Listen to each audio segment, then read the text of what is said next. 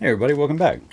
Uh, if you're here, you probably have already seen my video talking about how I think that this camera here, the Sony ZV-1, is ideal. It's the best camera for what we're doing here. So uh, if you saw that and you think like, hey, that's the camera for me, before you get your hands on one of these, there's some things I should tell you. There are going to be a few accessories that you just kind of have to have.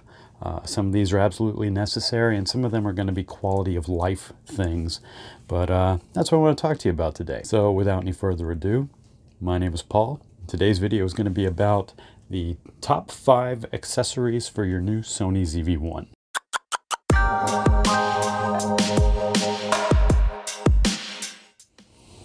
Oh man, I like this camera a lot. And when I got mine, I was thrilled with it. I mean, I was really yeah, really happy with what came to me, you know. But very quickly, I realized I couldn't use this camera because the very first accessory is something that you absolutely need to have. It's a memory card. In fact, I would say it's almost unfair to say this as an accessory because it is absolutely essential to making the camera work. ZV-1 has no internal storage, and so to make it work at all, you will have to add a memory card when I was shopping for mine, I knew I was going to do 4K video. And so with that came large file sizes. And so I didn't want to run out of space on the memory card. So when I picked my memory card, I went with something that I knew was high speed and high capacity. It is 256 gigabytes of storage. Now, what does that translate to in some real world numbers? So earlier today, I shot 4K video, 60 seconds worth, 24 frames. And what I ended up with was a file that was 740 megabits for one minute. This is a 256 gigabyte card. So I've got like 340 minutes of recording just here. Tons. Yeah, I'll never run out, right? But more importantly, I'll never need to think about not running out. I went with 256 gigabytes. Currently, that's going to cost you around 50 to 60 dollars. I think was it uh, 55.99 is the price I found on Amazon. I'll put a link below. Could you do fewer fewer gigabytes? Absolutely. I'm just telling you what I went with, and I have had no problems ever since. Here you are getting ready to do all these high frame rate photographs and and 4K video, and this is this is intense. And that brings us to number two batteries. Your ZV-1 is going to come with one of these. This is a Sony NPBX1 battery. If you try to get a second one from Sony, it's going to cost you $50. If you go to somewhere like Amazon, this is going to cost you $38. And that's for one battery. I wanted to have a couple because I knew there were some things about the camera it would run out of battery and so I didn't I didn't, but I didn't want to spend another $40. I've already spent 750 here and now another 50 on the, I mean, $800 now. I don't want to put another 40 bucks.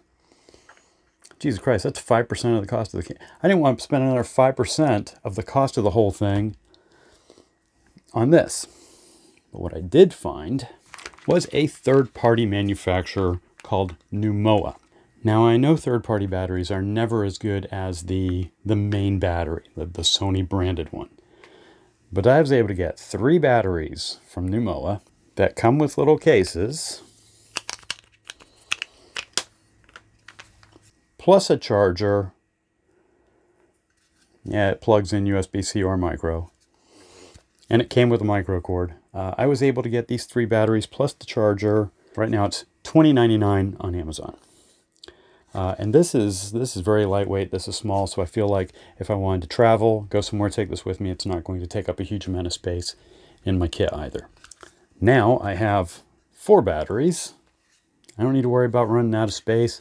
I got plenty of plenty of space on my memory card. I got plenty of juice to fill that thing up, and I have a nice tiny charger. Is it absolutely essential? No. You could just use that one battery over and over and over but the whole waiting around for it to charge, I wasn't about to do that. Now you've got your memory card in the camera. Now you got your battery in the camera.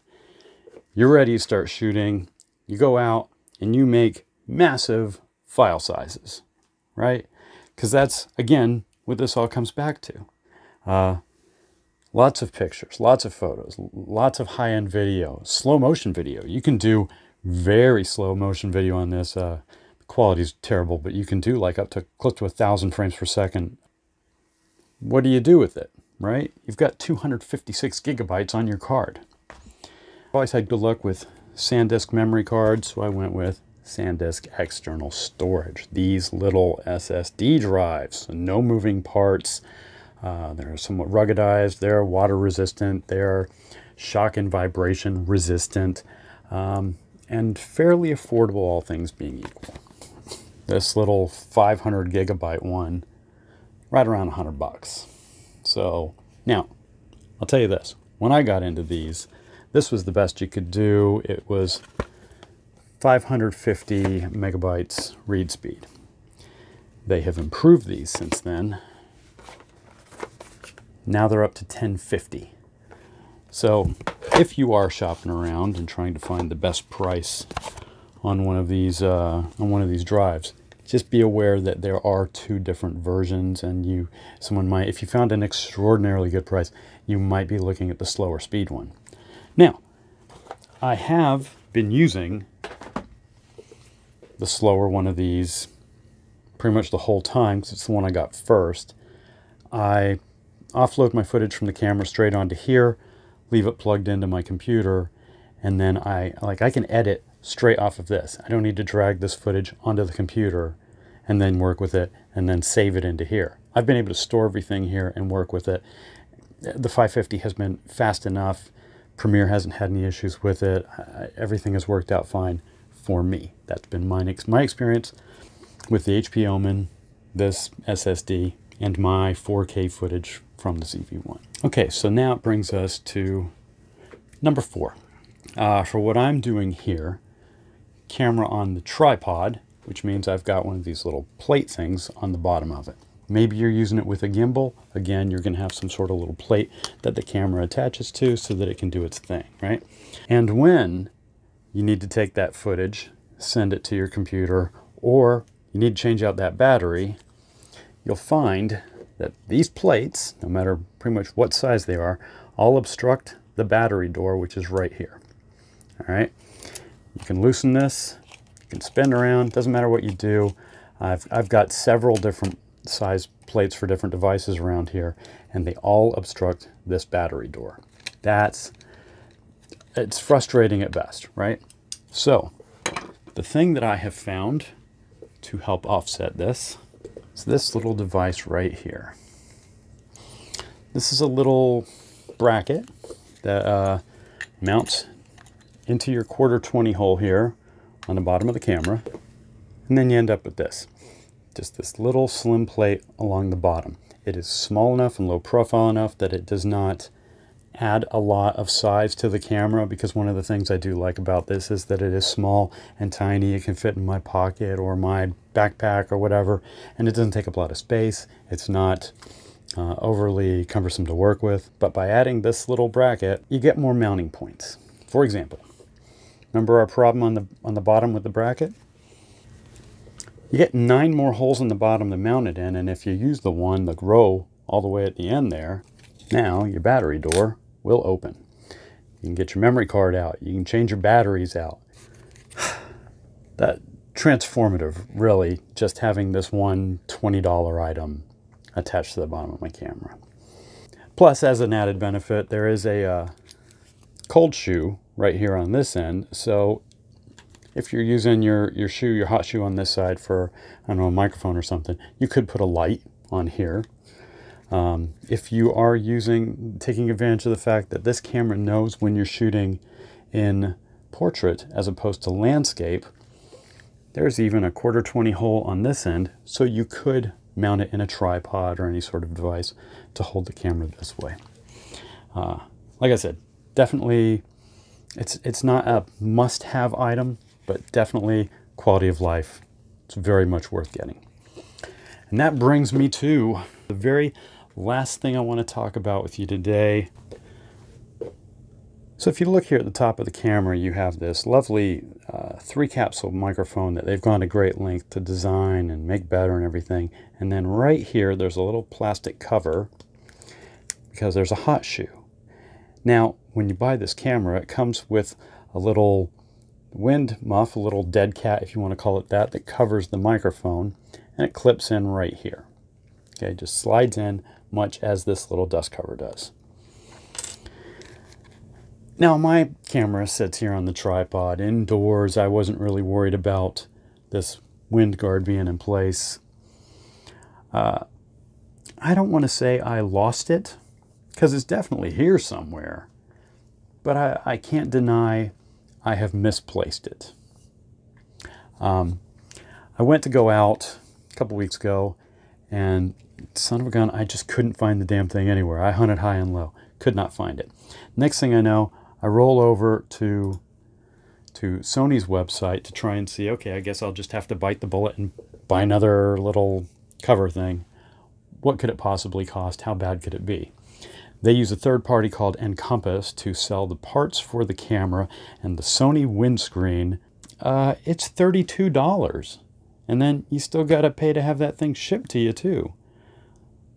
Are you kidding me? It's a $750 camera. Again, this is 5% of the cost of the camera is, well, maybe not 5, maybe like 4%, uh, is going to be this little fuzzy thing. Come on. So, disappointed to say the least, right? Uh, I moved on and checked Amazon like you do, right? Uh, I have found that SmallRig makes this. This is basically a replacement and an improvement. It attaches to the camera in the same way right up here in the hot shoe, except now it contains a cold shoe mount right up in the top here, whereas the uh, Sony one slides into there just like that dust cover does and, and completely uses this spot. So then you can't mount anything. So now, uh, just as this bracket added a cold shoe, this fuzzy guard adds a cold shoe up here as well, or, or keeps a shoe at least available. But it is a replacement for the original, and it only costs you $10 on Amazon. They're available and in stock, and if you have Prime, they ship for free. I got mine in like one day. And $10, I can choke down $10 a lot easier than 33 to replace this. And that's what I got today. I think those are your best, your five best accessories for the ZV-1. All told, you're in around 200 bucks to pick up these items. Absolute necessary, not all of them, but definitely worth having. I uh, hope this was helpful for you. If it was, hit the like button, subscribe to see more videos from me, and uh, I'll see you on the next one. Cheery.